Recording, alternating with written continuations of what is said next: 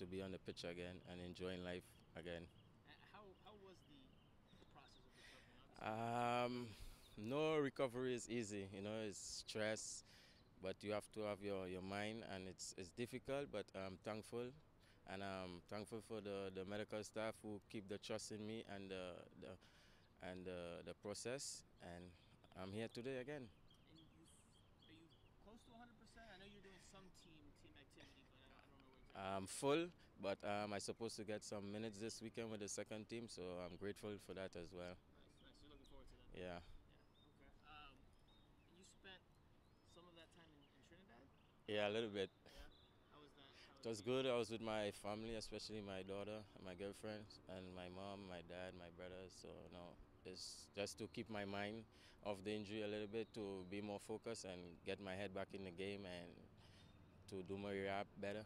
This is the first major injury you've. you've Ah, uh, yeah. yeah. So it?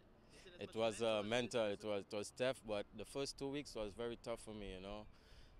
And my mind was strong. I was there, battling through. You know, my mom was there. My some of my friends was there. I'm thankful for the motivation and stuff. Some of my friends, and I'm thankful for that.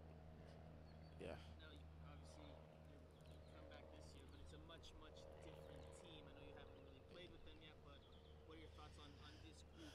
Um, I watched some games. I train with them, and I think it's a young, good team. You know, energetic and a team who willing to work hard and willing to get the job done.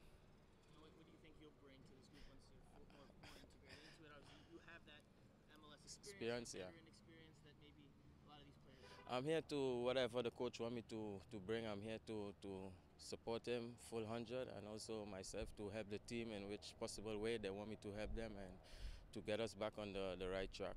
Is like feeling good though? You feel? You're I'm feeling good. I'm feeling hundred percent good. You Good. don't know, Good. no, uh, you know, sometimes when you're coming back from an injury you Uh, the first week with the team, I was a little nervous. I was feeling like if I was going on a trials because it's been a while. But yeah, um, my confidence is high right now, and I'm ready to go. No, I- I'm- obviously, you said you're going to get some minutes this weekend.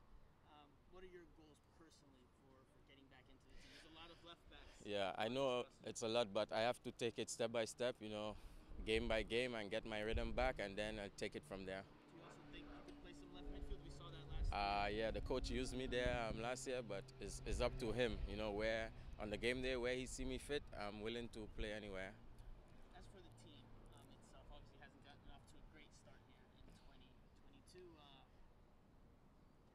do you think last year's struggles that that's played in, into the psyche of the team? Because there's already been some frustration. No, I don't think so. I think it's, it's part of the game. You know, it's not how you start, it's how you finish, and I think the, the team is heading in the right direction.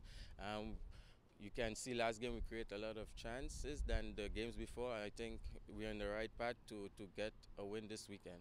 Did you, have you talked to Phil at all about, about your role for this year? Is it just, Um, not yet. He just want me to get back to myself. Yeah. do you know if you're going to play left back or left mid? No, I'm not sure. okay, cool. Joe, Yeah. thank you, no problem.